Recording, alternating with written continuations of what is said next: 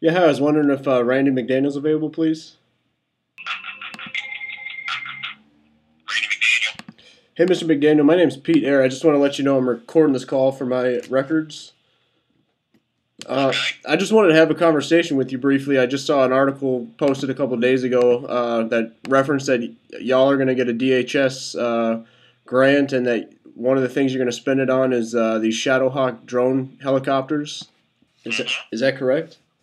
Uh, yes, sir. And I, I guess I was just curious. I mean, uh, this quote I see from you, uh, you know, you talk about its use for like SWAT uh, call outs and narcotics raids. And I, I, I wanted to question the, uh, I guess, legitimacy of even continuing and escalating the war on some drugs. I mean, is it if there's no victim, there's no crime? So I don't know. I guess I'm curious to hear your opinion on why you think it's good that people's money is being stolen to buy more hardware to then imprison more people that haven't hurt anybody. Well, you know, a the the drone is potentially able to do those things. It's not operational uh, at this point in time because it's it's still in the test phase. So, but it is the uh, it, does have that potential, and uh, you know, I'm not talking about drugs or anything else. I'm talking about a platform that provides us with the means to uh, conduct law enforcement operations.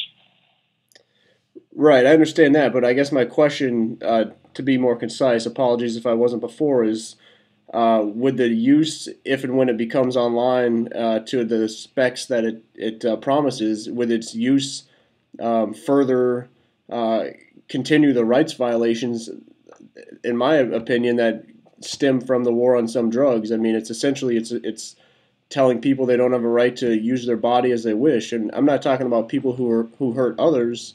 I'm just saying someone who's at home. I mean, if the use is for narcotic raids and and and to back up SWAT teams, I mean, I know that's uh, when they're used pretty uh, frequently these days.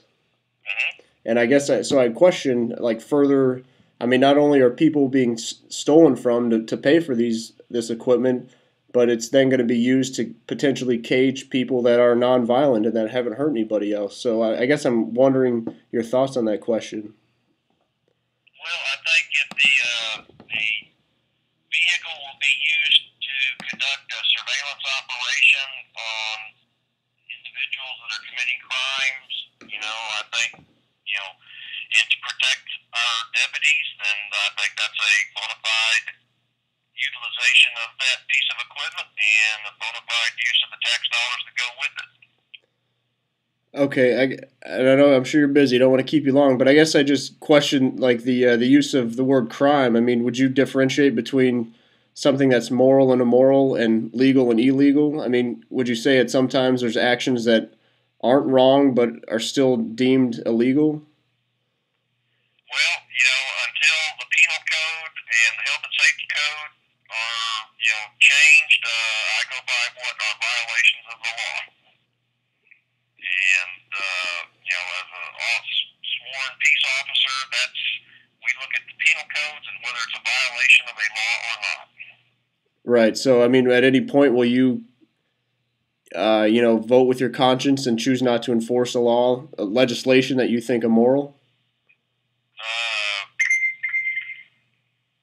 no. Uh, in terms of my conscience, uh, I enforce the laws as they are legislated, and if I have an issue with a law, then I do it as a citizen to change the law. However, my obligation is to support and uphold the Constitution of this state and the laws of this state. So that's what I'm going to do.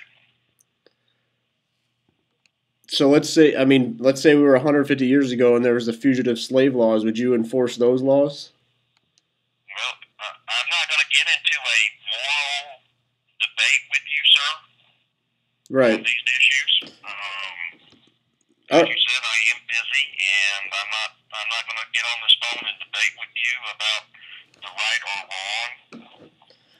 Okay, well, I appreciate your time, and I understand everyone's got different morals. I just ask that you think about, you know, your actions and how they, uh, the repercussions of them to peaceful individuals. You know, I hope that we could all live, uh, you know, peacefully and get along with each other and not have to resort to violence and threats of violence. So I just encourage you when you when you're interacting with with such folks to, you know, think about if, if you're doing what's right or if you're just doing your job. And and your All right. Thanks for your time.